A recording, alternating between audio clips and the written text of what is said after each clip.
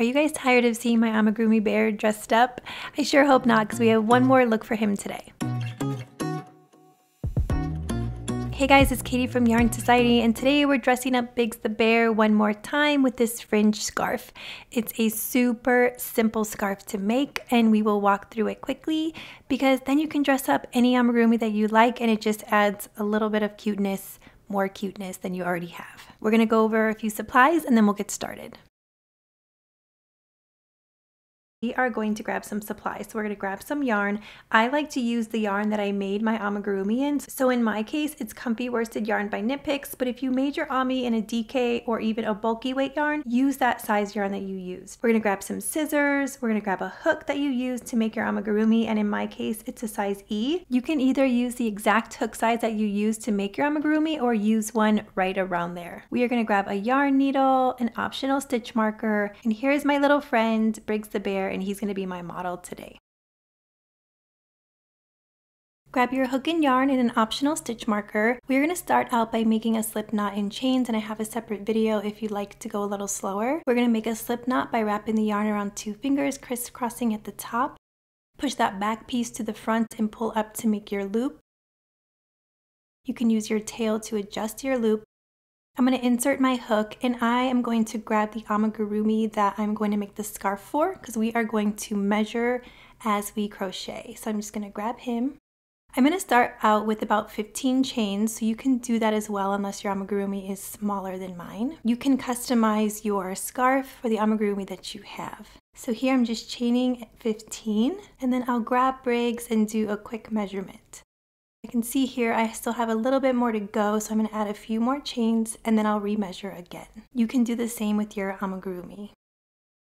So here I have about 20 chains and I just need like two or three more, so I'm going to add just a couple more and then remeasure.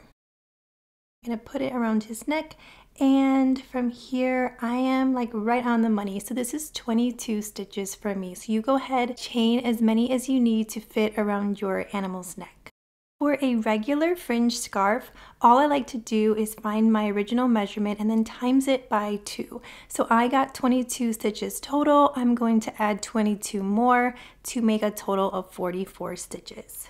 This scarf is only going to be two rounds of single crochet across, so it's a really simple scarf. The only difference that I do is I don't work into that top chain. I work into that back bump of the second chain from the hook, and I'm going to show you it here. If you flip your work over a little bit, there's this little bump in the back and I work into that bump. Here's my second chain from the hook and I'm gonna flip my work and I'm gonna find that bump that's right here. If this is really uncomfortable for you, you can do the top chain from the hook, that's totally fine. You can add a stitch marker if you'd like, if that helps you out. And then you can continue single crocheting into each of the back bumps of this row. Working in the back bump just gives you a nicer edge on your work. So as you can see here, you can see my V's on the bottom. And then when I'm done, I'll have my V's from my single crochet on the top. I'm going to continue to single crochet into each of the back bumps and then I will meet you back at the end of the row to show you what we'll do next. I'm reaching the last few stitches here. I'm still working into my back bumps. Here is my last bump. I'm going to work into that stitch. From here, we are going to chain one. We're going to turn our work.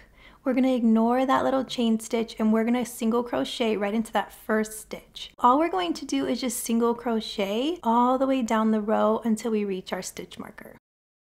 We're reaching our last stitches here and I know this is my last stitch because our stitch marker is there. So I'm going to take this out and we are just going to add our last single crochet. You can leave a long piece of yarn and we're just going to fasten off.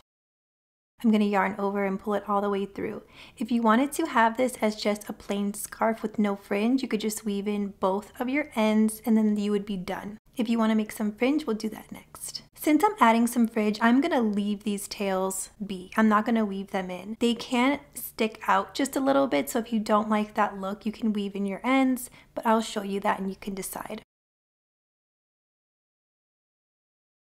I'm going to cut a few pieces of yarn, about three inches or so, three to four inches long. You can grab your hook, place your hook underneath the stitch of the end of your scarf. Place your hook under both loops of your stitch. Grab that piece of yarn down the middle. Using your hook, you can pull that all the way through, and then you could just yarn over and pull through both of those ends. Pull tight at the base of that, and that is one fringe done.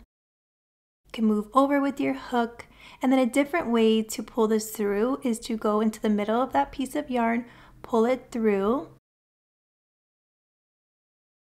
make a large loop on one side and pull your end through that loop. You can tighten that up at the base of your fringe. And then you can see here that this piece that we didn't weave in just kind of sticks out a little bit. So I'm gonna add one more fringe on my other side just to kind of match it up. If you don't like it sticking out like that, you can definitely weave that piece of yarn through and just add in the fringe as you like. We added our last piece of fringe and this one kind of matches up with our other side, so I'm okay with that. I'm going to give this a little bit of a haircut so it's all the same size. And what I like to do is make my fringe look a little bit curly. If you want to give that curly look, you can just unravel your strands of yarn and pull your pin through. This separates those little strands and gives it a little bit of a curly look. You would do the same exact thing on the other side, add your fringe, curl it out if you'd like, give it a little haircut, and then you'll be done with your scarf. Here is our finished scarf. We added the fringe, we curled it out a little bit, and now we're gonna place it on Briggs. Because he is a shorty, this scarf will be a tad bit longer on him, but I actually like the look. And if you wanted, you could always cut the fringe to be a little bit shorter. And the best thing about this is if you had a shorter amigurumi and you didn't like it this long, you can just add less chains and customize it to the size of your amigurumi. And here he is, he's ready to hit the town with his new scarf. Just to give you another look, here's my friend Gerald. He is by my friend Holly of Storyland Amis. He's my little mascot. But surprisingly enough, when I measured around his neck with the worsted yarn, he was also 22 stitches. So it's kind of funny because look how different they are in size, but they required the same amount of stitches. So here I'll show you how this would look on him.